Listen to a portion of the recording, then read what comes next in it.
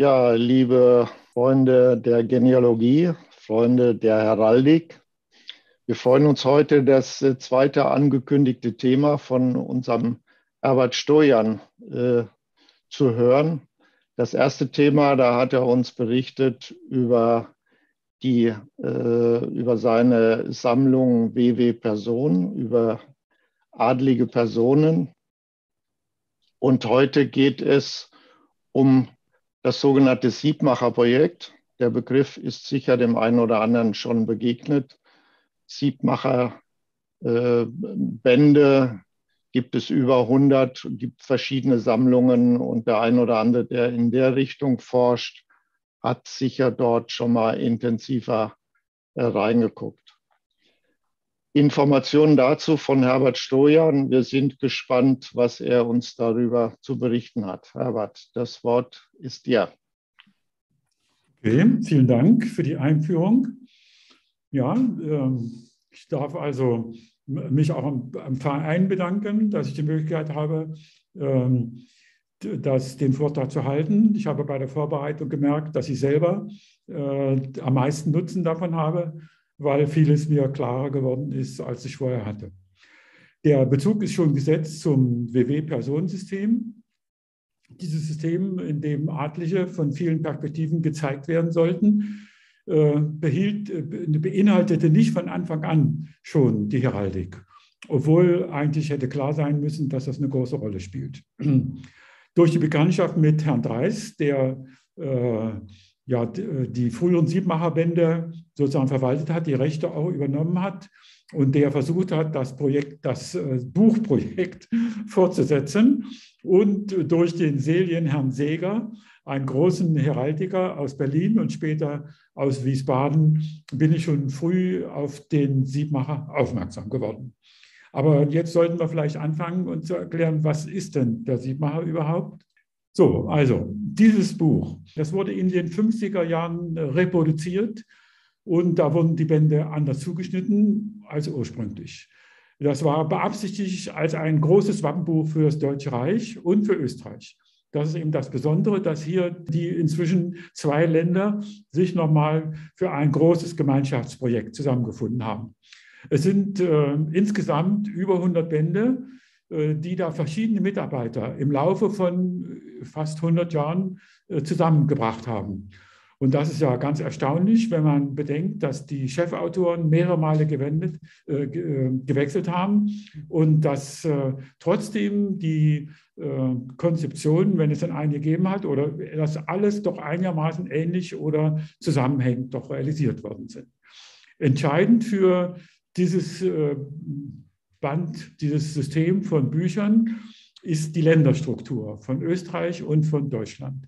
Das heißt, man hat versucht, für alle Teilstaaten oder Teilländer äh, der zwei äh, großen deutschen Reiche, könnte man sagen, äh, sollte ein, separates, sollte ein separater Band erscheinen. So, also diese Orientierung auf die Länder spielt eine ganz große Rolle. Dabei ist aber nicht klar geworden, äh, was das überhaupt bedeutet. Also wann wird eine Familie äh, einem Land zugeordnet? Wir kommen auf diesen Punkt später noch zurück. Gut, das Neue sollte eben sein, dass nicht bloß Bilder gezeigt werden, sondern dass Erläuterungen dabei sind. Ähm, das war für, für die damalige Zeit relativ neu. Und noch heute äh, gibt es Leute, die Wappenbücher publizieren ohne jede Erläuterung und ohne jede Hinweise auf Quellen und dergleichen. Äh, zum Beispiel äh, liegt mir ein Wappenbuch über Venedig vor, das um die 5000 Wappen enthält und das außer den Wappen nur eine Geschlechtsbezeichnung enthält. Keine Quellen, kein nichts, gar nichts. Und das ist bei Venedig besonders kurios, weil es da Familien gibt, die 20 Familien, 20 verschiedene Wappen haben. Und es wurde nicht gesagt, welche Familienzweig so ein Wappen hat. Seinerzeit fühlte sich der Hauptherausgeber der Anfangszeit, der Titan von Heffner, wahrscheinlich durch die Tyrowschen Wappenbände herausgefordert, die eben gerade in Bayern in großer Zahl erschienen. Und er wollte sicher da nicht klein Bein äh, geben und er wollte mindestens was genauso Gutes schaffen. Und da hat er eben die Idee, dass außer den Bildern und den Bezeichnungen der Bilder auch eben Erläuterungen äh, gegeben werden und einerseits heraldisch, das heißt zum Beispiel erklärt wird, warum vielleicht ein bestimmtes Wappen eine bestimmte Form hat und historisch genealogisch, dass also die genealogischen Hinweise kommen, zu wem, zu welcher Familie gehört das Wappen und welche Abfolge von Wappen hat die Familie vielleicht im Laufe der Zeit gehabt und so weiter. Also große Herausforderung äh, ist der ständige Autorwechsel, denn der Herr von Heffner, der äh, starb dann schon so nach zehn Jahren Arbeit und äh, jemand anders übernahm das Kommando und kann man sich ja vorstellen, dass im Jahr von 100 Jahren äh, da mehrere Wechsel stattfinden. Wichtig war auch, äh, das verlegerische Risiko äh, niedrig zu halten. Davon können ja auch heute Autor, äh, Verleger noch viel erzählen. Äh, das heißt, man setzte nicht auf Farbbilder, sondern auf Schwarz-Weiß-Bilder und wollte die mit Schraffuren schaffen.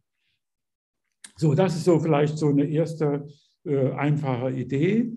Ähm, dass Leute uns überlegen, uns grundsätzlich zu unterhalten, was eigentlich ein gutes Wappenbuch enthalten sollte.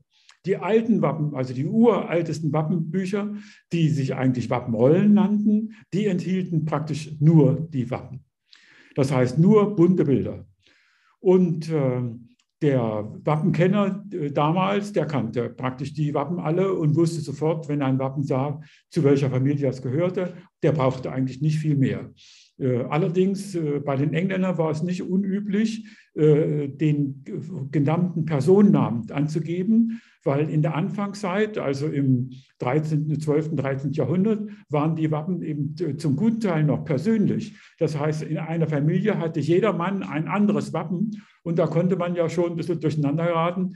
Äh, und deshalb war da so eine Personennotiz auch schon interessant. Die äh, Herolde selber, die die Wappen verwalten und alles wissen mussten, die konnten nicht unbedingt gut malen und gut zeichnen oder schnell gut zeichnen. Und die entwickelten sich mit der Zeit so eine Kurzbeschreibung die sie auf ihre äh, Handbücher, in die, ihre Handbücher reinschrieben und die ihnen dann schnell sagten, um welches Wappen es sich ging. ging. Ja, und das Ganze ist ja in Flandern entstanden oder England oder Frankreich. Das sind so die Gegenden, aus der die Wappen überhaupt kommen. Und äh, da gibt es das schöne Wort äh, Blason, äh, das äh, auch äh, für Wappen steht oder für eine Wappenbeschreibung. Und das, dieser Name hat sich schnell für die Beschreibung eingebildet. Ich habe schon gesagt, dass also in einem guten Wappenbuch auf jeden Fall auch der Eigentümer äh, stehen sollte. Man kann natürlich schon fragen, äh, was ist wichtiger? Ist äh, das Wappenbild, äh, das schön und bunt und groß und alle Einzelheiten enthalten soll? Oder ist die Beschreibung, die gerade vielleicht das Besondere an einem Wappen noch mit ausdrückt? Oder ist es wichtig zu wissen, hier in diesem Buch ist auch ein Wappen von der und der Familie oder von dem und dem Menschen drin? Also insofern könnte man da überall gleich wichtige Sachen sehen. Wir heute sind überzeugt, dass Quellen ganz wichtig sind. Das war vor 100 Jahren noch keinesfalls so. Die Heraldik war wie die Genealogie vor 100 Jahren noch eine Professorenwissenschaft in dem Sinne, dass äh, wenn der Autor etwas sagte, jeder das zu glauben hatte. Und ein Zweifel an seinen Angaben, die verboten sich natürlich, ganz klar. Und ich denke mir, dass der Titan van Heffen da sehr ungemütlich werden konnte, wenn man an seiner Expertise zweifelte. Wir heute wissen, dass auch der größte Gelehrte und auch Stalin ist ja bloß ein Mensch gewesen, wie wir alle wissen, auch sich irren kann. Und dass deshalb äh, die äh, Leser eines Buches nachschlagen wollen und prüfen wollen, ob denn alles richtig ist oder ja vielleicht weiterforschen wollen, weil sie wissen, dass nicht alles, was am Ursprungsort gestanden hat, auch äh, im Wappenbuch widerstehen wird. Und deshalb sind Quellenangaben natürlich ganz wichtig. Leider ist ja die Genealogie und die Heraldik mit bis in die 70er Jahre unseres Jahr, des vorigen Jahrhunderts äh, ja noch eine äh, Wissenschaft gewesen, wo es durchaus nicht unnormal war, keine Quellen anzugeben. Und äh, das hat sich aber glücklicherweise geändert. Gut, wenn man so ein dickes Buch hat mit 500, 700 Seiten, dann kann man nicht alles durchblättern, um nach einer Familie zu suchen. Oder man kann nicht alles durchblättern, um ein bestimmtes Wappen mit einem roten Löwen und mit einem grünen, äh, mit einem grünen Frosch zu finden. sondern es wäre gut, wenn man Hilfsmittel hat, wenn man beim Suchen unterstützt wird. Dafür, dafür hat es in den vielen Jahren manche Ideen gegeben. Wir wissen, dass wir mit dem Computer damit eigentlich schon ganz gut bedient sind und dass wir da wieder ein bisschen lässiger sein können. So, das nächste wären dann die Erläuterungen, die der von Hefner da eingebracht hat.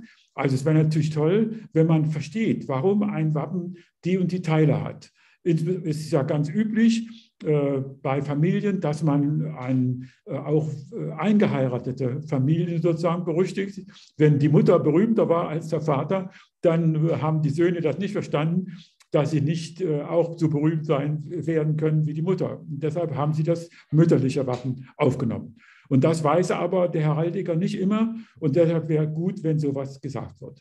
Und in den Häfnerschen Bänden ist es auch ganz kurios, wie er die verschiedensten äh, Wappen, Objekte, Figuren und so weiter äh, versucht, im Namen des Wappenbesitzenden wiederzufinden. Wenn also ein Rabe auftritt, dann ist ihm ziemlich sicher, dass jemand aus Rabenburg oder Rabenburg oder so weiter kommt. Also das ist ganz interessant manchmal. Natürlich äh, darf man nicht, nicht glauben, dass das immer richtig ist und manchmal ist es bloß ein netter Hinweis. Gut, äh, dann äh, haben wir äh, Hinweise auf die Wappeninhalte. Das soll also nicht jetzt bedeuten nur den Eigentümer, sondern dass man weiß, wer äh, in der Familie nun dieses spezielle Wappen als erster bekommen hat. Ähm, das heißt, äh, der Name allein reicht nicht aus, sondern man muss etwa wissen, welche Zweige es in der Familie gibt und in welchem Zweig so ein Wappeninhaber sitzt und vielleicht auch die Unterschiede zu den Wappen der anderen Zweige kurz angedeutet werden. Gut, interessant fände ich es auch, wenn äh, auch erwähnt wird, mit welchem Wappen man so ein äh, Wappen leicht verwechseln kann. Wenn man also glücklich ist, irgendein Wappen mit äh, goldenem Löwen und grünem Frosch gefunden zu haben, dann könnte es äh, frustrierend sein oder vielleicht auch hilfreich, wenn man erfährt, das gibt es schon dreimal, dieses Wappen. Sieht zwar jedes Mal ein bisschen anders aus, aber guck dir auch die anderen Varianten an. Gut, Typisch ist äh, im Adelsbereich, dass äh, die Familien mit der Zeit äh, einen anderen Status im Adelsbereich bekommen, dass sie Titel dazu bekommen oder Titel verlieren und dass äh, dementsprechend oft sich das Wappen ändert. Und da ja etwa nach 100 bis 200 Jahren in der Wappengeschichte angefangen wurde, Wappen zu vererben, war es schon, ist es schon wichtig, wie man, dass man die Familienstruktur kennt, damit man eine Vorstellung hat, ob die Person, äh, nach deren Wappen man sucht, vielleicht ein Nachkomme irgendeines bekannten Wappeninhabers ist. Ja gut, und ein typisches anderes Konzept der Heraldik sind die Wappenfamilien, dass ganze Gruppen von Adligen aus derselben Gegend kommen und äh, zum Beispiel alle gemeinsam Burgmannen auf einer Burg waren und deshalb äh, alle gemeinsam ein Wappen angenommen haben und sich so nach und nach dann in verschiedene Richtungen entwickelt haben. Hier würde mich sehr freuen, wenn ihr überlegen würdet, ob das äh, die einzigen Punkte sind, die man da anführen kann oder ob ich nicht vielleicht welche Sachen vergessen habe, die ein Wappenbuch und das, ich arbeite ja gewissermaßen an Wappenbüchern noch verbessern können. Gut, äh, die typischen Ordnungen, die man so im deutschen Bereich stattfindet, das sind, dass äh, die Wappen äh, irgendwie geordnet wurden. Früher, als man keinen Computer hatte, spielte die Ordnung eine Riesenrolle. Wenn man sich eben wieder die berühmten 500 bis 700 Seiten ansieht und überlegt, das Wappen steht irgendwo auf Seite 350, was könnte denn das Prinzip sein, dass es auf die Seite 350 gekommen ist? Und das könnte eben sein, dass der Wappenautor zuerst alle Löwenwappen behandelt, dann alle Bärenwappen, also überhaupt alle Tierenwappen, dann vielleicht alle Vögelwappen und dann alle Wappen mit äh, Kriegsgerät und so weiter. Also die Hauptfigur unserer Wappen könnte also eine große Rolle spielen und die könnte nach Häufigkeit oder nach Alphabet äh, angeordnet werden. Dann haben wir das zweite, dieses Prinzip, das der Siebmacher anwendet das also regional sortiert wird. Hier allerdings nicht Land, Kreis, Ort, sondern nur damals nach den Bundesländern von Österreich oder vom, äh, vom Deutschen Reich und dass dann äh, da äh, entweder alphabetisch geordnet wurde oder nach äh, Adelsklassen.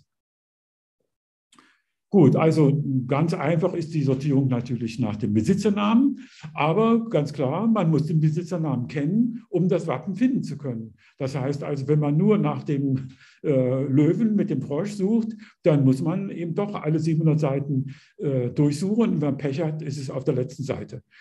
Ja? Äh, bei den äh, Adeligen ist es häufig so, also viele Bände des Siebmachers sortieren landsmäßig und dann versuchen sie noch die Adelsklassen abzutrennen, was auch nicht unbedingt hilfreich ist, wenn man die Adelsklassen nicht kennt. Dann könnte man glauben, dass vor 150 Jahren jedem klar war, wenn man einen Wittelsbacher sucht, dass der unbedingt ein bayerischer äh, Kurfürst oder König sein muss die anderen Adelsklassen, ob man Freiherrn nun immer von Grafen trennen kann, vor allen Dingen, wo das ja ein dynamischer Übergang sein konnte, da kann man schon zweifeln. Also äh, ob da zu viel äh, ja, Hochachtung vor der höheren Klasse dahinter steht oder ob da wirklich ein entsprechendes Wissen dahinter steht, da kann man Zweifel haben. Na gut, und schließlich kann man natürlich die ganzen Kriterien auch noch kombinieren. Wir heute würden da nicht mehr so einen großen Wert drauf legen, weil man eben äh, das Buch jetzt möglicherweise mit Computerunterstützung benutzen kann und dann schnell und einfach das richtige Wappen suchen. Das ist äh, immer noch nicht so ganz selbstverständlich. Und ich habe Wikis, drei Wikis kreiert, mit denen man Wappen über Kennzeichen suchen kann. Und dann kann man sie in den Büchern finden. So, jetzt kommen wir ganz konkret zu unserem neuen Siebmacher. Der neue Siebmacher sollte eben eine ganz neue Art von Wappenbuch sein. Und deshalb äh, wurden die Bilder auch in diese Klassifizierung der Adelsklassen einbezogen. Das heißt, je nach Wichtigkeit, vermeintlicher Wichtigkeit äh, der Geschlechter wurden den Wappen verschiedene Größen zugeordnet.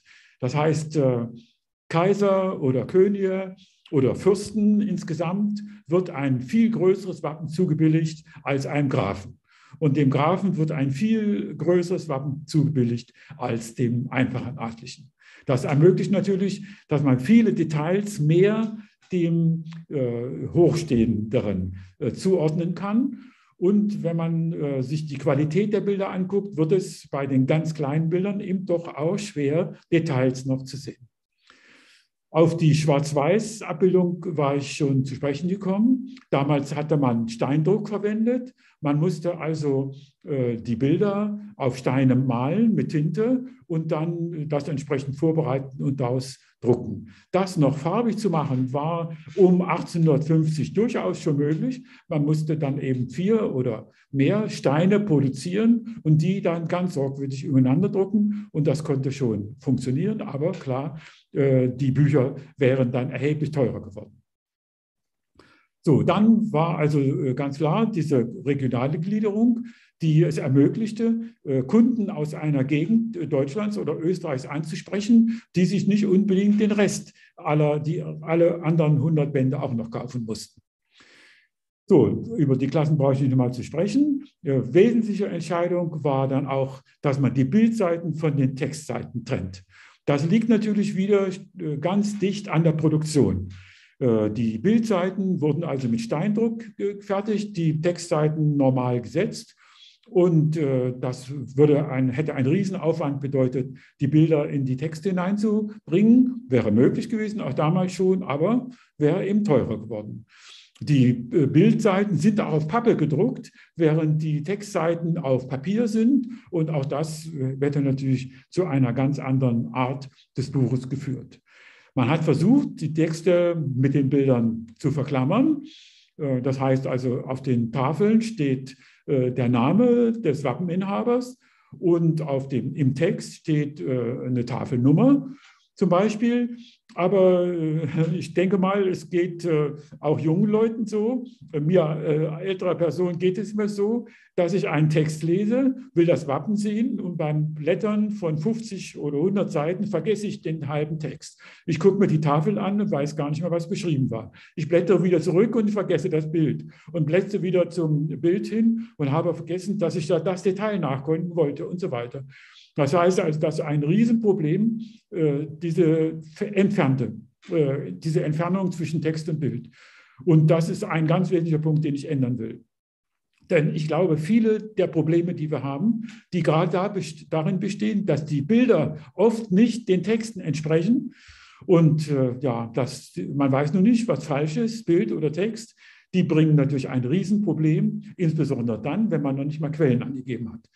Wie soll man herausfinden, ob Text oder Bild richtig ist? Das ist ein großes Problem des aktuellen Siebmacher. Gut, äh, ganz große Bedeutung für die Autoren spielte die regionale Vollständigkeit. Das heißt also, sie haben einen ganz großen Teil ihrer Arbeit damit zugebracht, überhaupt regional alle Adelsfamilien zusammenzusammeln und von diesen Familien mehr zu erkunden. Und das für die vielen äh, Länder, ne, das, dann haben sie das noch versucht zu, zu, trennen in lebende Familien und in abgestorbene Familien. Und dadurch äh, war natürlich erstmal überhaupt äh, die äh, Zusammenstellung der Personenlisten oder der Familienlisten schon ein erster riesengroßer äh, Ansatz oder großes Ziel, das erfüllt werden musste. Gut, und hier unten steht dann äh, die Art, wie dieser regionale Bezug nun umgesetzt worden ist.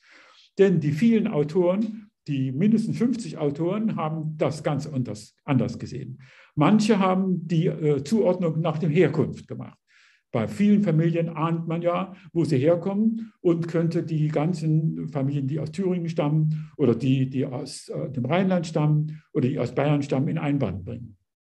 Andere aber verstanden das so, dass man die gerade in dem Land 1860 oder 1880 oder 1890 lebenden Familien anspricht.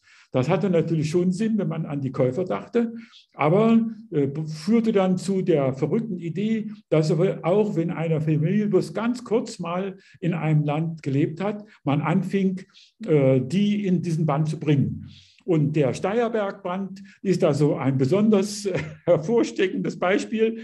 Da hatte der Autor anscheinend Hause gekriegt, dass sizilianische Familien mal ganz kurz in der Steiermark waren. Und jetzt hat er angefangen, die riesigen Familien der Caraffa und der Caraccioli in diese Bände aufzunehmen. Und ihr könnt euch vielleicht vorstellen, äh, die Österreicher waren sowieso ganz verrückt in Bezug auf die Unterbringung der Genealogie in den Wappenbüchern. Die haben also versucht, komplette Genealogien der Familien hier einzubauen. Das wären dann 50 Seiten äh, Caracciolo und nochmal 50 Seiten Carafa gewesen im äh, Band über der Steiermark. Also das ist schon ein bisschen absurd. Ne? Aber wenn äh, in einem Bundesland äh, zum Beispiel ein Rittergut besessen worden ist oder wenn man äh, lokaler Mitglied eines äh, Landtags war, dann war das vielleicht doch schon ein äh, durchaus akzeptabler Grund, um so eine Familie in ein Band aufzunehmen.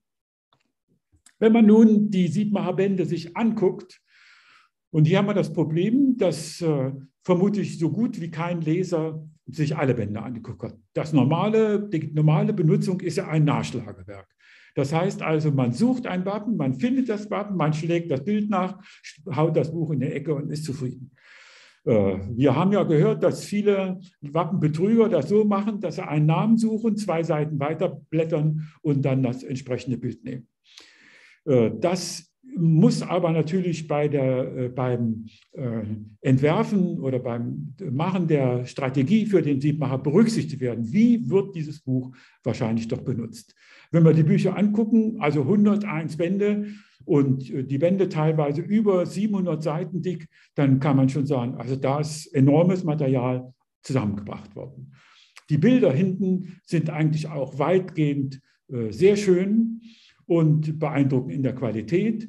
Äh, dann und wann, wenn man ganz genau hinguckt, jetzt bei der Vergrößerung sieht man eben, dass die Federn, die damals benutzt wurden, eben doch durchaus die Tinte lustig herumspritzen und dass es dann doch auch äh, kleine äh, da Abstriche in der Qualität zu machen sind. Die Texte unterscheiden sich stark von Band zu Band. Wie ich schon im Falle von Steiermark ausgedrückt habe, äh, sind insbesondere die österreichischen Bände im stark Betonung der Heraldik verfasst worden, während in Deutschland die, Heraldik, die Genealogie teilweise völlig zurücktritt. Äh, der von Hefner äh, eigentlich ein bayerischer äh, Spezialist, könnte man sagen, wusste aber in Wirklichkeit gar nicht so viel über die bayerischen Geschlechter und deshalb ist oft überhaupt nichts da drin oder wenn dann äh, Sachen, die er vermutet hat, eher nur. Das heißt also, damit haben wir schon mal äh, große Unterschiede in den Texten, die von heute völlig überholt bis äh, sehr gut und fast äh, unverändert übernehmbar äh, ja, qualifiziert werden können. Diese Gewichte Heraldikgenealogie, äh, die darf man nicht beliebig unterschiedlich machen. Das sollte wohl klar sein. Bei einem Wappenbuch müsste die Heraldik führen und die Genealogie muss dienen. Die Genealogie sollte dienen, um zu erklären, wie die verschiedenen Wappeninhaber einer Familie zusammengehören. Und eben bei Wappengeschlechtern, wie die zusammengehören. Das wäre da interessant, aber komplette Genealogien gehören eigentlich nicht herein.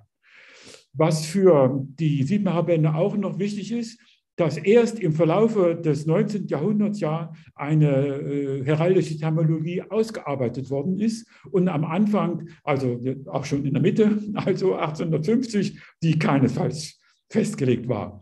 Der äh, von Hefner benutzte also durchaus äh, bayerische Wörter, die in Deutschland sonst wohl kaum benutzt worden sind und hatte ja auch sehr viele Einwilligkeiten.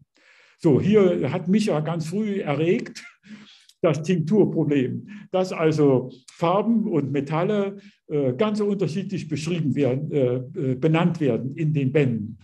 Und äh, insbesondere kann man ja durchaus mit Grund sagen, dass die Entscheidung, die äh, Straßenkreuzung oder die, diese äh, Note, das Notensymbol, dass man das für die Bezeichnung der schwarzen Farbe benutzt, dass das nicht gut ist dass man in Buchstaben benutzt werden sollten. Und äh, in diesem Abwägungsproblem befanden sich die ganzen Autoren. Jeder Band benutzt für die Farben und die Tinkturen andere Bezeichnungen, insbesondere Silber hat so ein besonderes Problem. Silber wird mal Silber, mal Weiß, mal S, mal SI und weiter Teufel bezeichnet. Und es ist sogar innerhalb eines Bandes so, dass die Autoren da herumgehen. Im Nachhinein kann man sich fragen, warum diese Fokussierung auf den einzelnen Buchstaben für die Deutschen so wichtig ist und ob es nicht zwei Buchstaben, wie es die Engländer und die Franzosen machen, auch ganz gut wären. Die Quellenangaben in den Bänden sind also verrückt. Und ich habe beim äh, oberflächlichen Durchsehen durch die Bände festgestellt, dass vermutlich der Mährenband der beste Band ist, wo die besten Quellenangaben zu finden sind. Jetzt bin ich gerade dabei, den badischen Band zu verarbeiten. Und da ist es so, dass auf den ersten Blick die Quellenangaben vorbildlich sind. Wenn man aber dann genauer hinguckt, sieht man, dass äh, sagen wir mal, unter sechs Quellenangaben an einem Artikel drei reine Namen sind. Das heißt, da gibt es irgendwelche Personen, die Tipps gegeben haben.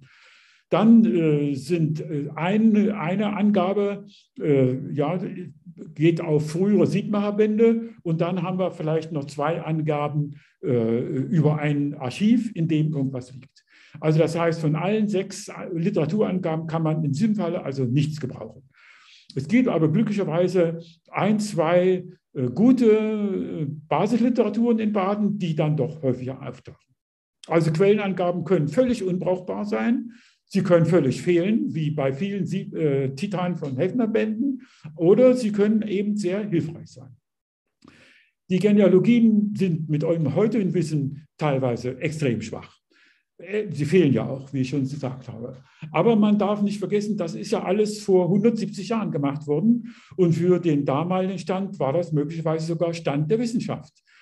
Wir können uns jetzt bequem zurücklesen und können das äh, Adelshandbuch oder das Adelslexikon des genealogischen Handbuchs hernehmen und da sind wir ziemlich gut bedient.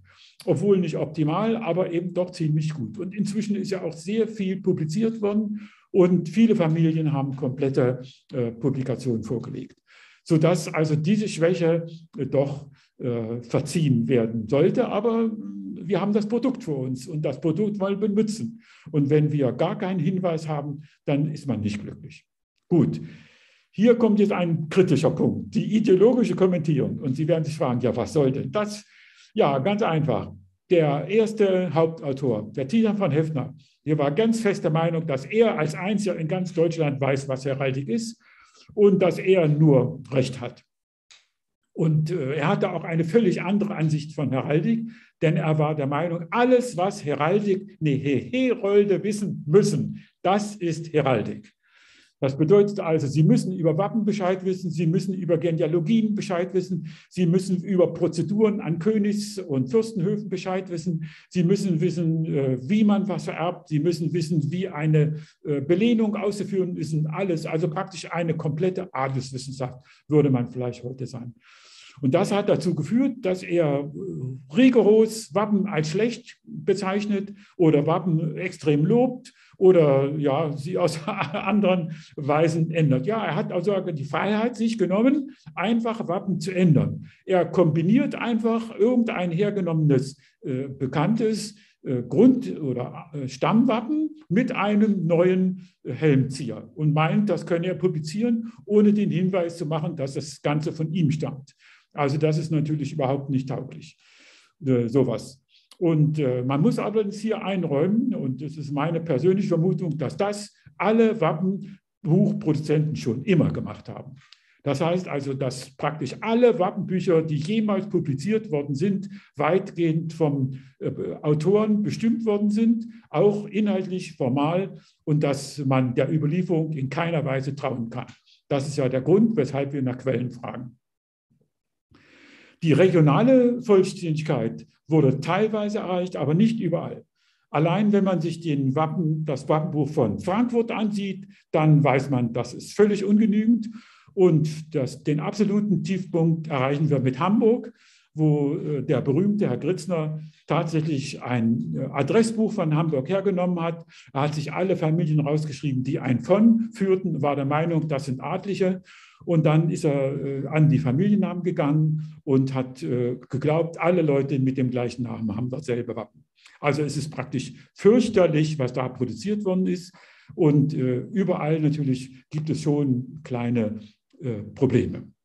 So, dann kommen wir weiter den Stil. Ist ja klar, dass äh, völlig verschiedene Autoren wie Hefner oder Seiler, dass sie einen völlig verschiedenen Stil haben, Wappen zu beschreiben.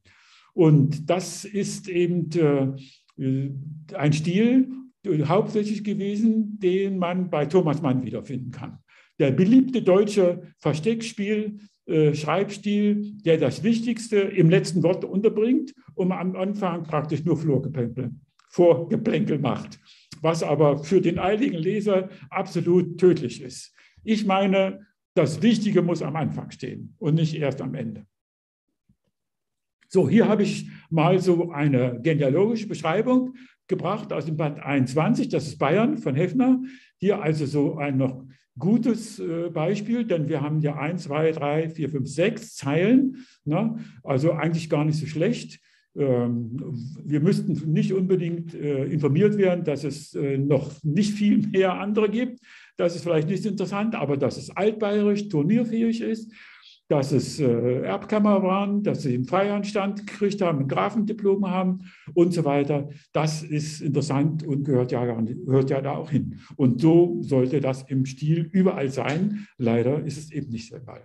Hier äh, habe ich versucht, jetzt durch äh, Strukturhinzufügung die Verständnis, äh, das Verständnis zu verbessern, indem ich das aufgliedere in das Herkunftsgebiet, in eine Klassifizierung des Geschlechts und dann eine Skizze der Geschlechtergeschichte, dann eine Zeitangabe, in welcher Zeit kann man überhaupt Wappen von diesem Geschlecht erwarten, halte ich für sehr wichtig, dass man nicht in alten Büchern wühlt, wo das Geschlecht gar nicht auftauchen kann. Und natürlich dann eine brauchbare Literaturquelle, hier in diesem Falle das äh, Adelslexikon, in dem man auch gute Literaturangaben bekommt und ja, eine ziemlich gute Beschreibung. Also ich habe es eben einfacher, ganz klar, im Unterschied zum äh, Van Hefner, dem stand das äh, großartige Adelslexikon nicht zur Verfügung. So, jetzt, ich will, um mal vorzusehen, ich will diese Bücher nicht schlecht machen. Wenn man sich überlegt, was äh, 1850 möglich war, wie konnte der arme van Hefner nach Frankfurt fahren, 1850? Wie konnte er mit Hamburg Kontakt aufnehmen? Es gab kein Telefon, er musste Post benutzen, die Post fuhr mit der Postkutsche. Äh, gut, manchmal war vielleicht innerhalb einer Woche sogar eine, eine Post von Hamburg nach München möglich. Ähm, aber jedenfalls äh, war da war einfach von den Voraussetzungen wer, war, war viele Hemmung da eingebaut und dass man das trotzdem bewältigt hat, ist einfach lobenswert. Dennoch können wir ja jetzt ganz locker sagen, ja, da gibt es einfach ein Problem. Wir haben ein Band 10, da gibt es ein fürstliches kräusches Wappen und wir haben ein Band 11 und da wird ein völlig anderes Wappen dargeboten. Das kann doch nicht sein. Warum? Warum ist das der Fall? Hier haben wir mal die zwei Bilder. So, und wir erkennen eben, obwohl die Überschrift ja in beiden Fällen dieselbe ist, zwar anders gesetzt, aber es ist dieselbe, ist das linke schlicht falsch und das rechte ist richtig oder richtiger, sagen wir vorsichtig. Das linke ist eben das Stammwappen und das ist einfach hier in ein Wappenzelt hineingestellt. So kann man das natürlich machen, um den, die Bedeutung des Wappens zu erhöhen, aber richtiger wird das Wappen dadurch nicht. Und das lag eben daran, dass, äh, dass äh, von Hefner über die Kreuz eigentlich gar nichts wusste und äh, trotzdem den Mut hatte, den Fürstenband anzufangen.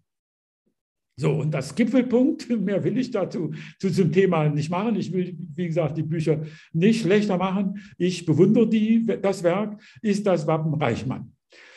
Das Wappen Reichmann, das ist im Band 101 und ich kann mir nur vorstellen, dass da jemand einen kundigen in das äh, Adelsarchiv nach Wien geschickt hat. Und der hat sich das aufgeschrieben. Also auf dem Wappen sind Sparren drauf, dann gibt es einen Stern und einen Mond, darunter jeweils Anker und Stern. Dann spielen ein Festungsgrundriss eine Rolle und brennende Bomben. So. Und das hat der Autor des Bandes 101 versucht zu verstehen und Sinn draus zu machen. Ja, die Beschreibung sieht ziemlich kurz aus, aber ist schon sehr kurios. Wenn man jetzt das Bild hernimmt, das ich gleich zeigen will, dann ist es aber was völlig anderes. Das Wappen ist geteilt und oben und unten ist jeweils ein Sturzsparren. So, und die Sturzsparren nun sind sozusagen benutzt, um Festungsecken zu symbolisieren. Da sind also die Festungsgrundrisse. Die Sturzbahnen sind die Festungsgrundrisse. Und die sind dann belegt, entweder mit Bomben oder mit Kanonen. Und dann in, das, in den Sparren hinein ist natürlich noch irgendwas hineingesetzt. Ne? So sieht das Ganze aus. Und wenn man sich die zwei Sachen vorstellt, dann sieht das natürlich völlig verschieden aus. Und äh, das rechte Bild ist farbig, das ist direkt aus Wien, während das linke also aus den Siebenmachern ist. Man erkennt also natürlich, dass das schlicht Blödsinn ist, was da im Siebenmacher abgebildet worden ist. So, das soll kein Vorwurf sein an die Autoren, aber äh, ein Vorwurf an uns, dass sie uns das so lange haben bieten lassen und dass wir nicht reingegangen sind, dass das Ganze verbessert haben. Dies war der Grund, dass ich äh, versucht habe, äh, ja, an Besserung zu sinnen. Natürlich ist klar, dass 100 Bände neu zu schreiben eine Wahnsinnsherausforderung sind und dass äh, man Furcht davor hat. Noch dazu, wo ja das Gesamtprojekt doch irgendwie bis in die 40er Jahre weiterlief. Aber ich habe eben mein WW-Personensystem dahinter und ich brauche ein gutes Wappenbuch. Ich will eben allen Benutzern meines Systems die äh, Suche nach Wappen ermöglichen, dadurch, dass sie mit äh, heraldischen Fachbegriffen suchen können. Und dazu brauche ich ein richtiges, eine richtige fehlerfreie Grundlage. Und ich habe erkannt, dass die Grundlage, mit der ich bisher die Wappensuche ermögliche, dass die zu schwach ist, weil das eben die alten Beschreibungen aus den alten Bänden sind. Die Beschreibungen müssen vor allen Dingen einheitlich sein, in dem Sinne, dass Silber oder wie auch immer das Symbol für Silber ist, in allen Bänden gleich bezeichnet wird. Und äh, wenn ich äh, bei den Geschlechtern mich zurechtfinden will, möchte ich überall was Ähnliches lesen. Das heißt, ich möchte wissen, ob sie Freihand geworden sind, wo sie etwa wohnen und ob sie noch leben. Das ist ein ganz wichtiger Punkt. Und diesen letzten Punkt, den bietet noch nicht mal das genealogische Handbuch des Adels, das Adelslexikon. Das heißt also, dort erfahre ich nicht, ob eine Linie oder ein ganzes Geschlecht inzwischen schon ausgestorben sind, was natürlich für die Wappensuche und den Kontakt der Familie oder so ähnlich schon mal sehr wichtig ist. Ansonsten aber ist das Adelslexikon natürlich hervorragend. Und man könnte sogar fast sagen, das Adelslexikon ist ein Konkurrent. Es hat 16 Bände und bietet in diesen 16 Bänden eine unglaubliche Masse von Material, die man ernst zu nehmen hat, wenn man versuchen will, äh, über den Siebmacher zu reden. Also das muss berücksichtigt werden. Glücklicherweise hat es Schwächen. Das äh, ermöglicht es, besser zu werden. Gut, der nächste Punkt war, dass äh, ich mir überlegte, wie ich will erstmal überhaupt feststellen, welche Fehler in den Siebmacherbänden da sind. Und da sich, äh, stören uns natürlich am allermeisten die Unterschiede zwischen Bildbeschreibung und Bild. Diese äh, äh Fehler sind fürchterlich, weil die ja, das Wappen völlig in Frage stellen. Und das kann man sogar weiter sagen. Also nach der Lektüre der Siebacher-Bände, die ich bisher gesehen habe, muss man ganz klar sagen, die gesamte deutsche Heraldik schwimmt. Das heißt, es gibt gar keine Grundlage und alles ist offen. Und erst wenn man die ganzen vergessenen Quellen eingebracht hat, kommt die deutsche Heraldik wieder auf, einen akzeptablen, äh, auf eine akzeptable Grundlage. Es ist mit der Genealogie gar nicht so viel anders. Dadurch, dass über Jahrhunderte quellenlose Publikationen produziert worden sind, schwimmen wir auch ganz schön. Glücklicherweise gibt es einen Unterschied zwischen Heraldik und Genealogie und das sind die Kirchenbücher. Die Kirchenbücher sind nicht hundertprozentig sicher, aber doch um 90 Prozent kann man sicher sagen. Und das heißt, da gibt es einen Bereich, wo man auf, auf sicheren Boden geht. In der Heraldik kenne ich so eine sichere Grundlage nicht. Die gibt es nicht, meiner Überzeugung nach. Gut, der nächste Punkt ist natürlich, wir wollen, wenn wir die Quellen haben, wollen wir wissen, wie wir die Quellen erreichen. Wenn also irgendwo ein Siegel die Quelle für ein Wappen ist, dann wollen wir wissen, an welcher Urkunde dieses Siegel hängt und wo dieses Siegel sich befindet. In welchem aktuellen äh, Archiv liegt das Siegel? Wir haben das Riesenglück, dass die, das Adelsarchiv äh, in Wien zum großen Teil inzwischen im Internet erreichbar ist. Und viele, viele von den Wappen, die wir gerade suchen, können man ganz schnell finden. So wie wir das gerade eben bei dem Reichmann-Wappen gesehen haben. Die Wappen sind farbig, äh, sind original aus den Wappenbüchern und helfen ungemein bei der Bereinigung von Fehlern. Wir haben natürlich auch einige kleine technische Aspekte, denn Bilder sollen ja in dem Wappenbuch wieder sein. Und die Bilder in den alten Siebenhaarbänden sind eben doch leider ein kleines Problem. Sie sind nämlich doch farbig. Das überrascht jetzt vielleicht. Äh, wenn wir untereinander wären und ich die Bücher herumgehen könnte, dann würde das jeder sehen. Aus irgendeinem Grunde, den wir bis heute nicht erkannt haben, hat man die ganzen Bilder rosa oder gelb oder beige überdruckt. Warum, das weiß ich nicht. Und diese Farben wollen wir weghaben, damit wir reine Schwarz-Weiß-Bilder haben, die ja völlig ausreichen. Dazu ist ja die Schraffur da. Diese rosa-rote oder äh, orange kann man nicht sagen. Also so eine Mischung zwischen rosa, rot, äh, beige und braun ist da eben drüber. Und es ist ganz klar, dass sie drüber ist, denn es gibt Stellen, wo äh, die Bilder auseinandergeraten sind und da sieht man die Lücken in dieser Überdrückung. So, also die Bilder müssen alle separiert werden und teilweise aber auch äh, von dem speziellen Exemplar, das man hat. Und äh, äh das ist ja im Laufe der 120 Jahre Dreck draufgekommen und der Dreck muss auch weg. Zweitens haben wir die großen Tafeln, auf denen 16 äh, Wappen gleichzeitig drauf sind. Und wenn man äh, sich vorstellt, dass man 60.000 oder sagen wir mal 50.000 äh, Wappen separieren muss, 50.000 äh, durch 16, äh, das dürfte umgekehrt ungefähr bei 3.000 liegen. Dann haben wir also 3.000 äh, Tafeln zu separieren, in laut in 16 Teile jeweils. Da ahnen wir schon, dass wir alleine für diese Bildseparierung Jahre brauchen. Gut, wir wollen zunächst bei der Bandstruktur bleiben. Das ermöglicht die besser die, der Vergleich und die Kontrolle mit den alten Bändern. Solange das nicht alles aus sicheren Tüchen ist, soll die Bahnstruktur enthalten bleiben. Später könnte man sich eine alphabetische Aufteilung, so wie das im Adelslexikon ist, durchaus vorstellen. Die Bilder aber sollen direkt zur Beschreibung, damit die Fehler jedem sofort sichtbar werden. Die Fe Fehler sollen auch äh, in den Beschreibungen extra angemeckert werden. Alle Bände sollen einheitlich beschrieben werden, also keine zehn Stile. Ich beschreibe alles und mit dem Beschreiben geht es eigentlich ganz gut. Wir wollen die, das Gewicht zwischen Genealogie und Heraldik so setzen, dass die Heraldik den Vorrang hat. und dass nicht äh, mehr als eine halbe Seite Genealogie äh, eingebracht wird. Wenn, dann äh, Strukturzeichnung, also das heißt Bäume oder Tafeln. Da hat man ohnehin einen schnelleren Überblick über ein ganzes Geschlecht und man kann da auch Nummern einbringen und andeuten, welche Person welches Wappen hat. So, bei den vielen Bänden ist ja ganz klar, dass manche Geschlechter in, auch in mehreren Bänden rankommen. Es muss jetzt also eine Stelle geben, wo man die Hauptbeschreibung für dieses Geschlecht hat und die anderen Bezugnahmen darauf sind oder einfach bloß Kopien. Und so dass man dann äh, Arbeit und, und äh, Lesezeit und so weiter spart.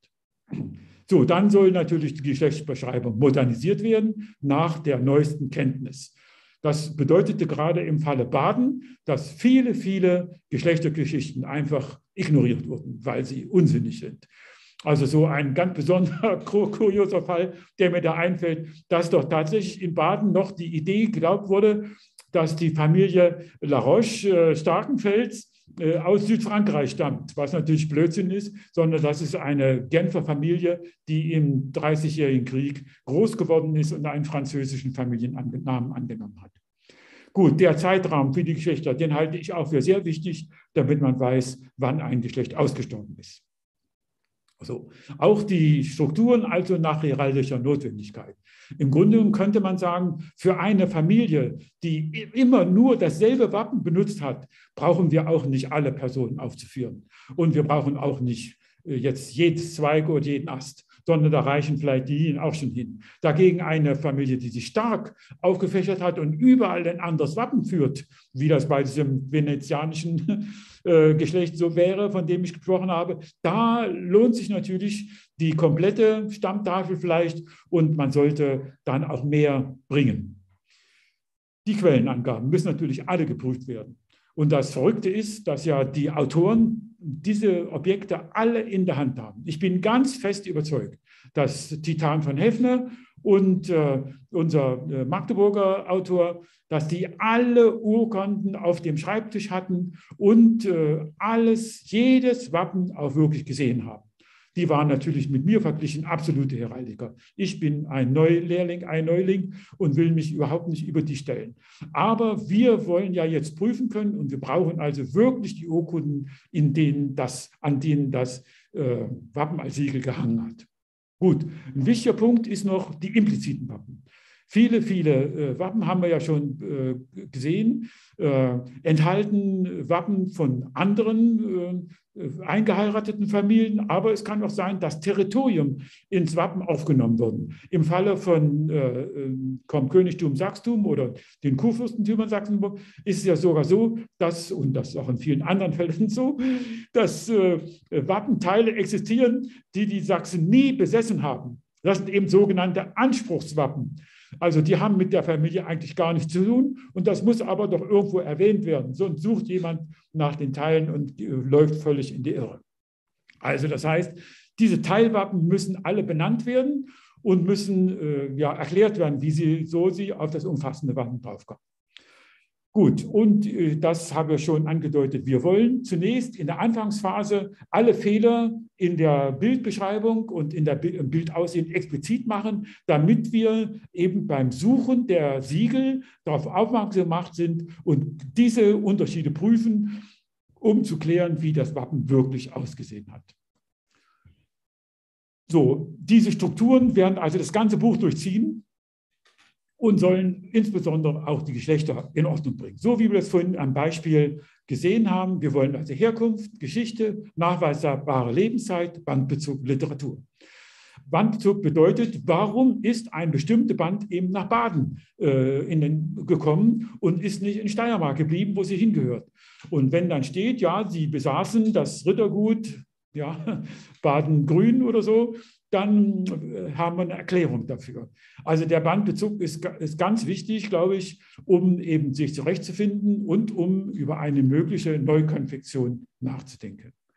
Bei den Wappen ist es so, äh, dass ich jedes Wappen mit, mit einer separaten Bezeichnung kreieren will, sodass man in Zukunft ganz genau weiß, äh, wenn man eine bestimmte Nummer sagt, das ist das Wappen sowieso. Nummer soll hier nicht bloß Zahl bedeuten. Sondern äh, Wappenfallnummer ist also eine symbolische Bezeichnung für jedes Wappen, das in ähm, einem Siebmacherband steht. Natürlich steht die Quelle an, an zweiter Stelle, das ist klar. Dann kommen wir zum Schild und der Schildbeschreibung. Dann separat die Helmzahl. Man könnte sagen, das braucht man nicht. Das steckt ja in den Helmziehern drin, in der Gliederung. Aber es erweist sich eben doch als hilfreich äh, beim Erstellen des Ganzen und bei der Fehlerkontrolle. Die Kronen, äh, die auf den Helmen drauf sind, betrachte ich als Teil der Helmzieher. Das muss durchaus nicht sein. Und es kann sein, dass der heftiger Widerspruch gibt. Äh, Riedstab jedenfalls macht das nicht so. Riedstab spricht äh, bei den Kronen nicht von Helmziehern, sondern erwähnt bei den Helmen immer gleich, dass es eine Chasse Coronet ist. Und dann weiß man, dass es also eine Helmkrone drauf ist. So, dann kommen die Decken. Äh, die ja ein Kapitel für sich sind. Es gibt viele, viele leicht verständliche Decken, aber es gibt sogar vier Decken aus vier Farben. Gut, aber ansonsten äh, sind bei den Decken sind ja einfach irgendwelche Flattertücher, äh, werden da benutzt oder ganz fürchterlich künstlerisch äh, verschraubte äh, Bilderchen, die man bloß staunen kann. Gut, Schildhalter spielen natürlich eine Riesenrolle. Ursprünglich in der Heraldik natürlich gar nicht, aber so nach und nach äh, wollte man natürlich die Wappen immer mehr ausschmücken. Und dann Wahlsprüche. Hier fehlen jetzt natürlich die Kreis. Also auf den französischen oder flanderischen und auch auf englischen Wappen, glaube ich, hat man eben das Kriegsgeschrei so eines Geschlechts auch. Na, wenn die also, die Familie, die Brüder und Vettern, die standen eben alle im selben äh, Heeresteil und wenn die gemeinsam angriffen, dann brüllten sie irgendwas. Zum Beispiel der Schrei Brabant, Brabant, der ist mir im Kopf geblieben und das wird dann hier auch aufgenommen. So, dann haben wir, äh, es kann sein, dass auf einem äh, Schild kein Helm drauf ist, sondern kurz und knapp einfach bloß eine Krone. Das könnte sein, ein Graf macht eine Grafenkrone drauf, ein Freiherr eine Freiherrnkrone und so weiter. Und das muss natürlich erwähnt werden. Ja, und dann kommen wir noch zu den Anmerkungen, die äh, zum Beispiel die heraldischen Erklärungen sein können. So, jetzt kommen wir natürlich zu einem kitzelchen Punkt. Wir haben es erkannt, äh, das äh, Adelslexikon des GHDA ist Konkurrent, ja, aber wichtige Quelle.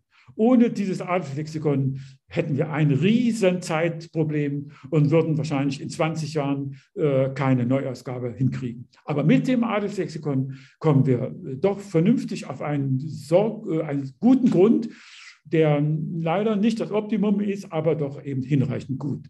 Das Buch ist nun leider auch schon wieder bejaht. Ne? Sehen Sie, 17 Jahre alt ist der letzte Band. Also, das heißt, das ist nicht mal neu, was da drin steht, muss man leider erkennen. Dann ist es in der Zeit begrenzt. Es ist eben nur 19. bis 20. Jahrhundert.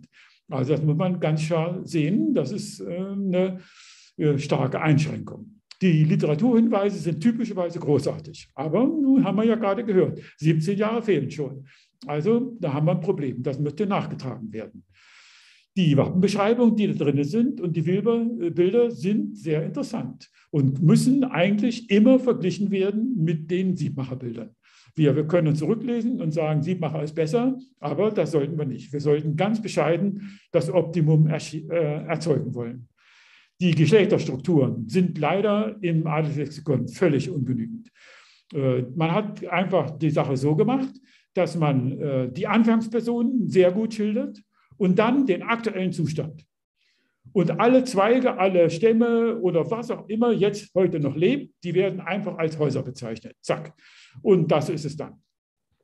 Und die Verwandtschaft zwischen diesen Häusern kommt völlig ungenügend zum Ausdruck, sodass man die heraldisch wichtigen Sachen, welche Wappen sind nun eher zeitlich miteinander verbunden und welche sind weiter weg, kann man damit nicht klären. Wir brauchen die Geschlechterstrukturen. Und da reicht das Adelslexikon nicht. Und ich kann euch verraten, dass hier meine Hauptarbeit liegt. Alles andere, also die Beschreibung, das geht ziemlich schnell und natürlich das Artlexikon abschreiben geht auch ziemlich schnell, aber die Geschlechterstrukturen zu finden, das ist ein Riesenproblem und wird die Qualität der ganzen Bücher entscheidend beeinflussen. Dann finde ich es natürlich auch völlig unpassend, dass das Adelslexikon gar keinen Hinweis auf äh, ausgestorbene Geschlechter gibt. Man könnte äh, im Sinne des Adelslexikons einführen, so manches Mal hat man sich da schon gehört. So manche Familie wurde schon als ausgestorben geschildert und dann plötzlich fünf Jahre später meldet sich jemand und äh, kann beweisen, dass er dazugehört. Also das räume ich natürlich ein, aber kein Buch kann völlig richtig sein und ein Hinweis, wenn man sagt, wir können es nicht nachweisen, dann ist man da aus dem Problem. Es gibt aber auch viele sachliche Probleme weil eben auch das Adelslexikon eigentlich von verschiedenen Autoren erstellt worden sind. Und diese verschiedenen Autoren, die alle ihre Familienworte, Familienvorworte einst in die Adelsbände eingebracht haben, die wurden nämlich benutzt, um das Adelslexikon zu bauen. Und zum Beispiel bei den Reichsritterschaften geht das lustig durcheinander. Also ob nun Mittelrhein eine Reichsritterschaft ist oder ein Kanton in der rheinischen Ritterschaft, das ist überhaupt nicht klar. Und welche Rolle die äh, äh, ja, zum Beispiel das Breisgauische Ritterschaft oder die elsässische Ritterschaft äh, spielen. Ja, das ist ziemlich unklar. Äh, ich kann mir persönlich nicht vorstellen, dass es eine elsässische Reichsritterschaft noch im 18. Jahrhundert gegeben hat. Gut, jetzt kommen wir noch zu dem Blasonierungsstil, der natürlich, äh, also man kann ganz klar sagen, mein Stil wird äh, äh, nicht allen gefallen und er ist völlig anders als bisher. Und äh, er ist eben stilisiert. Das heißt, ich gehe nicht zum Maximum, was ein Informatiker ja sicher gerne tun würde, und präsentiere einfach eine formale Beschreibung, sondern ich versuche es zu stilisieren. Also ich versuche, dass alles lesbar bleibt, dass wenig Abkürzungen benutzt werden, aber wie schon gesagt, das Wichtigste soll am Anfang. Die Details sollen hinten sein. Das nächste, der nächste Punkt, der mir ganz wichtig ist, dass die Wappen immer zusammen sind. Das heißt also, jedes Wappen besteht aus der Grundfarbe und der darauf liegenden Figur oder den vielen Figuren, die darauf liegen. Und das gilt eben immer und das gilt auch für die Bestandteile des Wappens. Denn Wappen bestehen aus Wappen. Ein geviertes Wappen besteht aus vier Wappen und die vier Teilwappen muss ich genauso beschreiben. Ich kann nicht den vier Teilwappen ihre Farben klauen und vorne schon erwähnen und dann erst die Teile irgendwie beschreiben. Nein, nein. Also das heißt, immer versuche ich Farbe und Figur zusammen zu beschreiben. Das gilt also bei vielfach geteilten Wappen, das gilt auch, wenn das ein Herzschild auf einem Wappen ist und in solchen Fällen überall. Hier unten habe ich mal so ein Beispiel geschrieben. Also klassisch hier im Siebmacher insbesondere steht immer gerne äh, blau und rot geviert, na, vorneweg. Und dann kommt Feld 1 und 4 ist irgendwas A und Feld 2 und 3 ist irgendwas B. Nein, so eben nicht, sondern jetzt steht nur geviert und Feld 1 und 4 ist das Wappen, in Blau ist A und in 2 und 3 ist das Wappen, in Rot ist B. So soll es aussehen. So hat man das, äh, die Wappenbeschreibung auf einen Blick und kann sie verstehen und äh, hat alles zusammen. So, Wappenbeschreibungen wären lang. Es gibt äh, Wappen, die bestehen aus 30 Teilen. Das kann durchaus sein. Und wenn man an die großen Riesenwappen der Österreicher und der Hohenzollern denkt, dann ist das noch eine geringe Zahl. Das heißt also, wenn man so einen Fließtext hat, den würde man nicht verstehen. Und deshalb wäre das Optimum, dass alle Wappen, äh, ja, dass geholfen wird durch Einrückung. Dass man die Wappenteile zusammenhält, aber eben äh, auf eine separate Zeile stellt. Hier in diesem Falle bei den vierten würde das bedeuten, nur das Wort geviert steht auf der ersten Zeile, auf der zweiten Stelle steht 1 plus 4 Doppelpunkt BA und auf der dritten Zeile steht nur 2 plus 3 B. Da würde natürlich das Wappenbuch sehr dick werden, kann man sich leicht vorstellen. Und das mussten wir irgendwie hinkriegen. Das muss zum Optimum gebracht werden. Aber ich glaube, wir gewinnen was, nämlich Verständlichkeit, dass jeder verstehen kann, aus welchen Teilen ein Wappen besteht. So, ich hatte mir ursprünglich vorgestellt, dass ich nach zwei Jahren mit der ganzen Arbeit fertig bin, mit allen 100 Bänden und dass ich dann die heraldischen Freunde aus ganz Deutschland zur Mitarbeit äh, bringen kann, indem sie nämlich alle Wappen, die sie sehen, notieren und einbringen in das Wiki, wo sie das Wappen gesehen haben. Zweitens natürlich, wenn Sie äh, finden, dass irgendwo Unterschiede zwischen Bildern noch äh, übersehen worden sind, dass Sie darauf hinweisen. Denn es ist ja klar, dass ein Autor äh, viele Fehler macht. Das sehen wir an den Autoren des alten Siebmacher und ich bin keinesfalls von Fehlern frei. Das heißt also, alles prüfen und die Unterschiede prüfen, ob die nicht leicht übertrieben sind, ob sie wirklich das sind, das würde äh, durch, durch die Community der Heraldiker in Deutschland in absehbarer Zeit gelingen können. So, dann haben wir natürlich das Riesenproblem, wenn wir wissen, dass äh, das Bild falsch ist, muss das Bild geändert werden. Wenn wir wissen, dass die Beschreibung falsch ist, muss die Beschreibung geändert werden. Die Beschreibungen lassen sich einfach ändern. Die Bilder lassen sich teilweise nur schwer ändern. Es gibt Bilder, wo man bloß ein Detail entfernen muss. Es gibt aber Bilder, wo das eine Riesenarbeit ist. Ne? Bei den Geschlechterstrukturen wäre natürlich auch äh, die Hilfe der Kenner wichtig. Es gibt natürlich Leute, die über ihr Geschlecht gut Bescheid wissen. Und wenn die sagen würden, äh, so und so ist die Linienstruktur, dann würde einem gut geholfen. Ja, dann kann es sein, dass die Quelle, die angegeben wird, in Wirklichkeit schlecht ist. Und dass der Familienkenner sagt, ihr müsst die äh, Quelle angeben, denn das ist die wirklich hilfreiche Quelle. Ja, und bei, den, äh, bei der heraldischen Literatur äh, wäre das natürlich gut, wenn wir zu jedem Wappen äh, einarbeiten könnten, wo dasselbe Waren in derselben Form gezeigt wird, wo es leicht abweichend gezeigt wird und so weiter. Also hier äh, sieht man schon, äh, auch damit, dass alle äh, Bücher überarbeitet sind, ist die Arbeit nicht beendet, sondern nach meinem Gefühl, da beginnt die Arbeit. Wo stehe ich? Ich mache bisher praktisch nur Textarbeit. Ich sagte schon, Geschlechterstruktur ist das komplizierteste, was es gibt.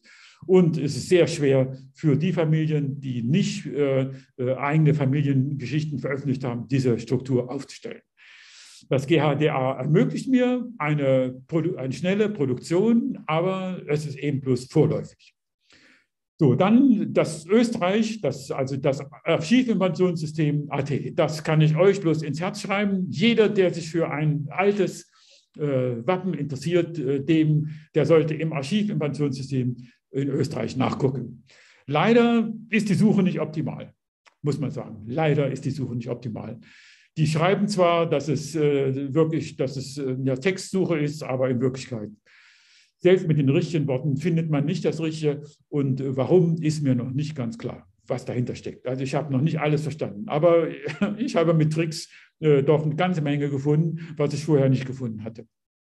So, ich habe die Blasonierung nicht alle einfach machen können. Ich bin ja, wie ich schon sagte, eigentlich ein Anfänger und ich habe also Hilfe nötig. Und da ist natürlich der Freiherr von Reckum, den ich ständig äh, nerve und der mich wahrscheinlich schon gewünscht aber ohne den das Ganze natürlich entstanden wäre. Und dann ist noch der liebe Dr. Haug, ohne den ich auch nicht so weit gekommen wäre.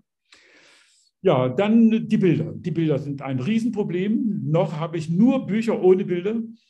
Wir haben Riesenfortschritte gemacht. Ich habe Studenten angestellt, die da tätig sind. Und die Säuberung ist jetzt schon exzellent, überhaupt nicht zu vergleichen mit dem, was ich selber gemacht habe. Aber die Separierung ist noch das große Problem. Also diese Verteilung der 16er Tafeln in lauter einer Tafeln. Das liegt daran, dass die Wappen eben sich durchaus überlappen.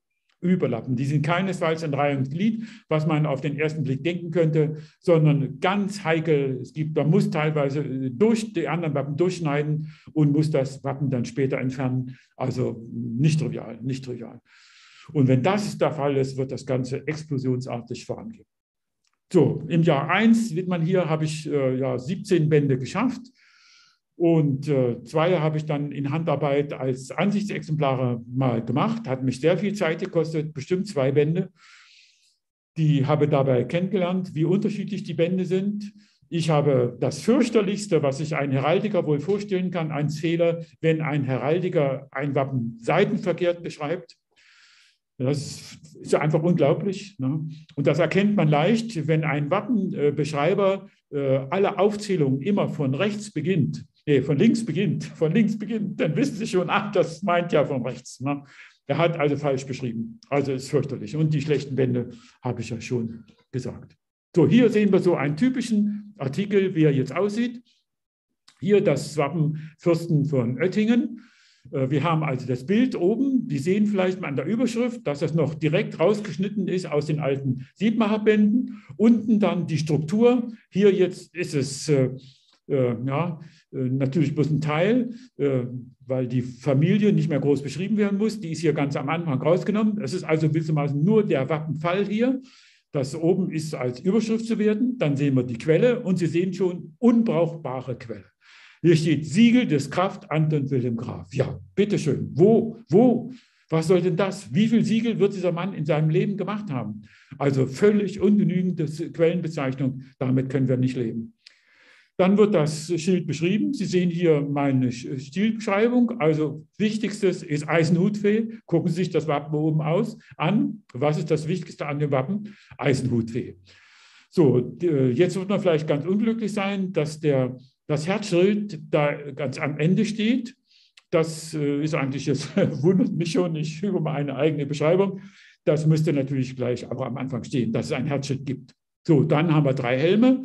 Dann werden die drei Helme beschrieben, leider jetzt umgebrochen und nicht extra auf eine Zeile. Aber hier können wir natürlich alle äh, Fehler schön sehen. Wir können also sehen, dass der Straußfedernbusch in Wirklichkeit aus drei, sechs, sieben Federn besteht und dass die abwechselnd ähm, äh, schwarz-gold sind. Ne? Wir sehen, dass die, die, Bezeichnung des doppelten Fluges da auf der Hut rechts äh, vom Betrachter aus, also in Wirklichkeit der linke äh, Hut natürlich, auf dem linken Helm, dass das natürlich ja, eine verrückte Sache ist. Also die, die Flügel beschäftigen mich stark. Ich frage mich, ist es wirklich eine gute Idee, äh, einen Flug von einem Flügel zu unterscheiden?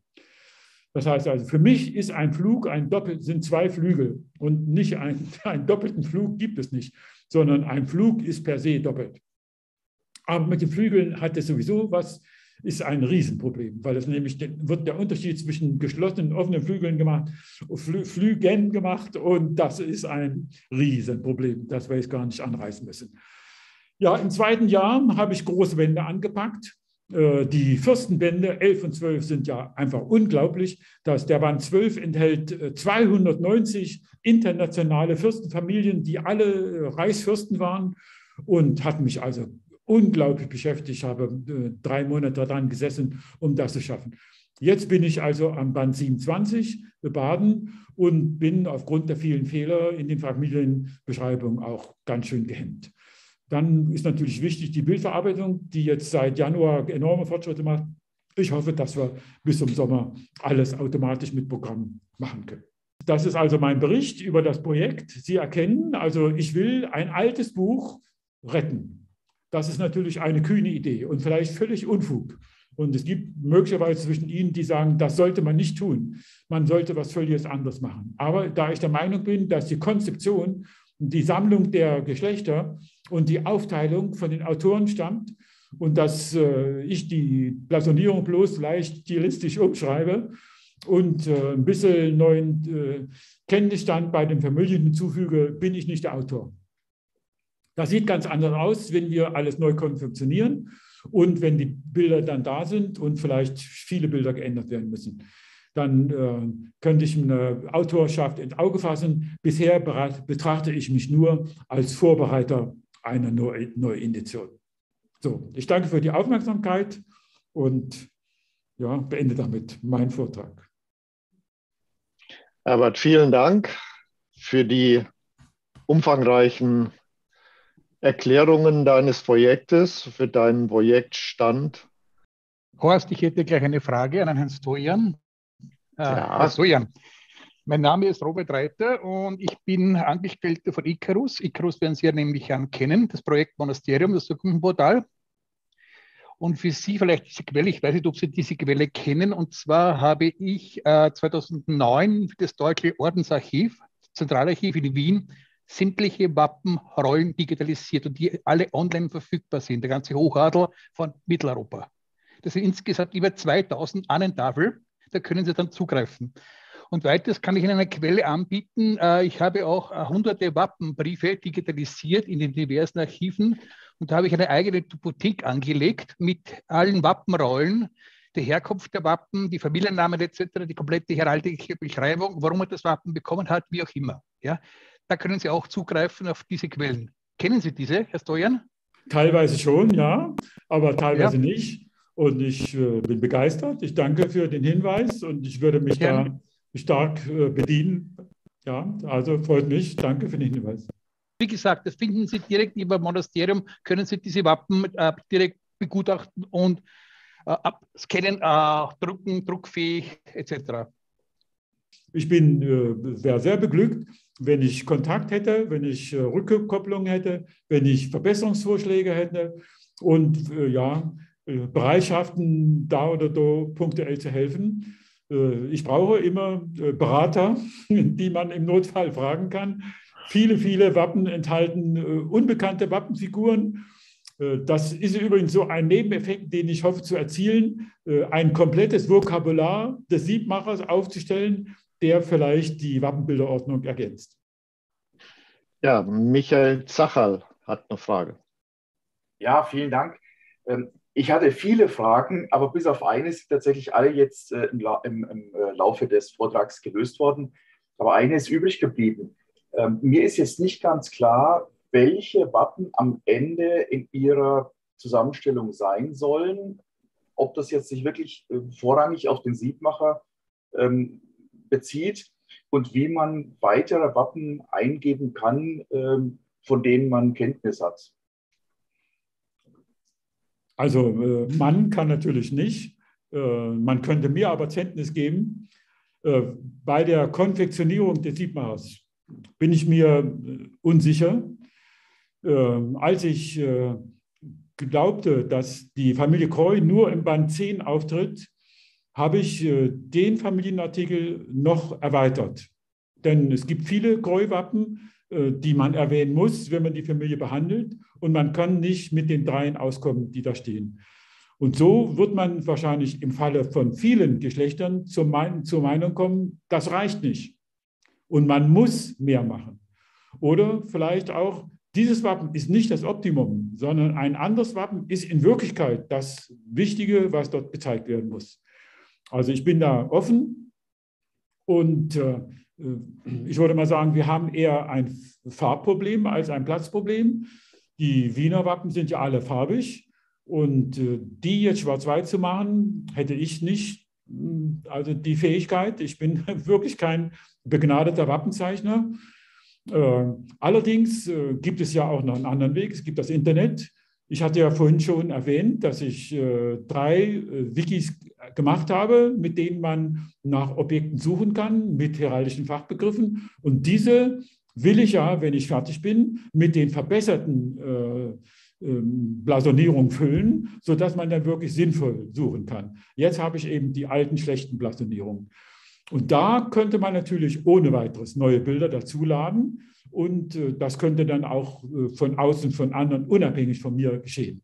Bei den äh, Wappenbüchern wäre das nicht. Und da würde ich bitten, wenn Sie was haben, kontaktieren Sie mich. Und dann bin ich gern bereit, wenn ich verstehe. Denn es ist ganz klar, dass in vielen Fällen, also ich weiß allein über Frankfurt viel besser Bescheid als von Hefner das 850 getan hat. Und ich weiß, dass er bloß in Frankfurt hätte fragen müssen und man hätte ihm gesagt, es gibt ein Wappenbuch der Garn-Erbschaft Alten Limburg und da sind doppelt so viele Wappen drin, wie Sie bisher in Ihrem Buch drin haben. Also bitte, ja, ich bin glück, sehr beglückt, wenn Sie mich kontaktieren würden. Wenn ich das richtig verstanden habe, soll das später auf einem offenen Wiki äh, zu finden sein. Ne? Richtig. Mhm. Äh, also mehrfach. Das erste mhm. ist, äh, ich habe die Quelle für das Ganze, ist eine, eine ganz einfache äh, ASCII-Datei, aus der ich die Tech-Dateien für die Bücher generiere. Und ich will natürlich auch für mein WW-Person einen kompletten Siebmacher in HTML generieren. Mhm. In diesen Bänden werden natürlich die Links nach Österreich oder hier nach dem Kollegen da, nach äh, Monasterium und so weiter drin sein, sodass man dann äh, rübergehen kann. Na? Das ist ganz klar. Und äh, die, äh, es gibt ja Fragen, die ich in den Büchern, in den Wänden jetzt auch gar nicht angehen kann, die aber trotzdem für die Heraldik wichtig sind. Eben zum Beispiel, wer war der letzte Wappenbesitzer? Nach aktuellen Kenntnisstand natürlich. Also scheint mir ganz wichtig. Und wer war der erste Wappenbesitzer? Das, oder wo ist das Wappen? An welchem Schloss?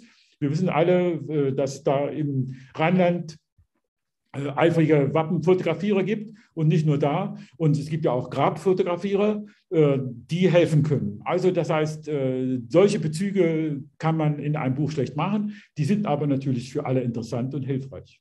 Mhm.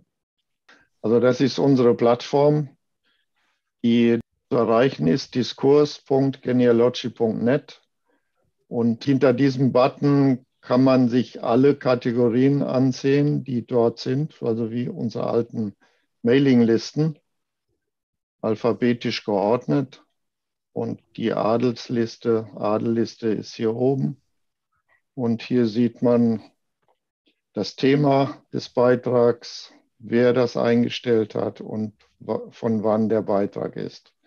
Das sehen wir März, März, wann die beiden kann man sich angucken. Das ist also eine Frage von einem. Und wenn man da was zu sagen kann, könnte man ihm jetzt antworten. Man klickt einfach auf Antworten und kann seine Antwort dann hier reinschreiben, kann auch Fett und Kursiv und alles Mögliche benutzen. Bilder also relativ einfach. Bilder, Bilder hinzufügen. Gehen. Genau. Du kannst ja mal in die Suche gehen und da nach Steuern suchen. Dann siehst du, was er alles zuletzt geschrieben hat.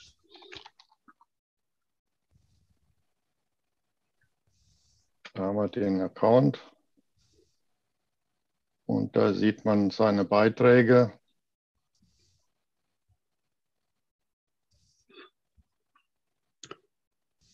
Also ich habe jetzt ähm, über die Suche oben, über die Lupe, rechts gesucht, ähm, wo Steuer. Ach so, das ist, ah, da hast du jetzt eine andere Darstellung. Ich habe eine Liste bekommen, was er alles in Adel äh, geschrieben hat. Also wenn ich in der Liste suche, ja. Ich ja. habe jetzt insgesamt gesucht, ja. Ja, ja.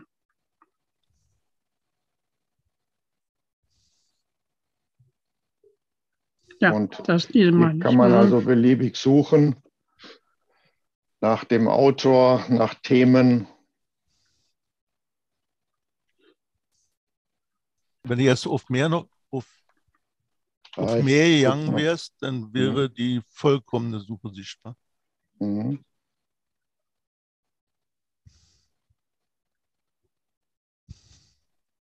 Und ich möchte vielleicht noch ergänzen, es war vorhin die Rede, dass man einen kostenlosen Account braucht. Also jeder, der in irgendeiner Form bei uns schon im GenWiki oder in, auf der Team-Plattform oder so sich kostenlos angemeldet hat, mit demselben Zugang kommt er auch in Diskurs. Also einmal anmelden auf teamgenealogy.net und hat auch diese Möglichkeiten. Also das zu unserer Kommunikationsplattform. Der Nachfolger der alten Mailman-Software. Mit den Möglichkeiten, dass man hier auch Bilder anhängen kann und äh, relativ einfach kommunizieren kann. Also es gibt äh, in dem Wiki dann, wenn man äh, auf diese drei Punkte, drei Striche hier geht, dann kriegt man hier unten Hinweis auf eine FAQ. Das sind äh, Fragen und Antworten. Und da kriegt man dann eine Menge an Infos zum Umgang mit dieser Software, aber das ist eigentlich relativ einfach zu handeln. Wie gesagt, suchen kann jeder. Zum Suchen braucht man keinen Account. Da sollte man schon aus diesen offenen Listen auch alles finden. Wenn man natürlich schreiben will, muss man einen Account haben. Eine Frage, gibt es bürgerliche Wappen? Also ich habe hier so ein Stammwappen einer Familie meiner Frau, Stammwappen der Familie, angeblich von 1397 vom Kaiser Wenzel verliehen. Was kann man von sowas halten? Also die Antwort zu dieser gerade bürgerlichen Wappenanfrage. Ja. Sie müssen sich vorstellen, so in der Zeit 1880, äh, 1920, als viele Leute zu Geld gekommen sind, Gründerzeit. Da sind Leute von Haus zu Haus gegangen und haben gesagt, lieber Herr äh, Diplombraumeister, ich habe Ihr Wappen gefunden, von König Wenzel ausgestellt, wunderbar gezeichnet, also hängen Sie es über den Kamin, glauben Sie nicht dran. Also typischer Wappenschwindel. Sieht wunderbar aus, das Wappen von ja, Isabel. Die, die Texte sind alle sehr ähnlich. Eine alte, ehrbare Familie ja, ja, ja, aus dem Schweizer irgendwoher und ähm, unter einem Kaiser X geadelt und ähm, Wappen verliehen und so weiter. Also die Texte gleichen sich sehr stark. Wir hatten im Verlag mal ein Büchlein, das jetzt leider vergriffen ist. Da gibt es rund 100 einschlägige Beispiele zu diesem Wappenschwindel. Hm. Also es gab na, richtige Wappenbüros, die sowas angefertigt haben. Dann gab es die Vertreter, die draußen rumgeschickt wurden, wie gesagt, also zu dem Braumeister, zu dem Fabrikanten und so weiter. Und ähm, die haben es dann für viel Geld gekauft, denn dass eine bürgerliche Familie um die Zeit schon eigene Forschung betrieben hat, konnte man nicht voraussetzen. Habe ich vermutet, vielen Dank. Es stimmt genau, es steht, die Breiningers aus dem früheren Freien Reichsstadt Regensburg stammend, aus ja. dem alten Geschlecht und so weiter. Ja, okay, also dann ist klar. Ja, man sollte aber das Kind nicht mit dem Bade ausschalten. Äh, es ist schon klar, dass in den großen Städten, also in Nürnberg, äh, bestimmt die Hälfte der Bevölkerung ein Wappen hatte. Das kann man äh, nachweisen in Nürnberg, weil jeder Besitzer eines Kirchenbank äh, sich eintragen musste in das Kirchenbankbuch und das soll voller Wappen sein. Herr Steuern, das sind aber zwei verschiedene Paar Schuhe. Ja, ja. Ähm, dass Sie in Reichsstädten natürlich ähm, das Wappen als das Orientierungssymbol hatten, das war am Haus, Kirchenbank, sonst irgendwo und hat also dann die Familie entsprechend ausgewiesen. Aber das ist ja dann äh, ein Phänomen der Gründerzeit, wo also, äh, man muss sagen, Hausierer rumgingen und dann ihre Wappen verkauft haben. Natürlich, ganz klar. Dann denke ich, äh, können wir das Thema abschließen. Bedanken uns nochmal, Herbert, für die Ausführungen. Und ich denke, da werden wir demnächst wieder neuere Informationen von dir bekommen, wie der Fortschritt abläuft.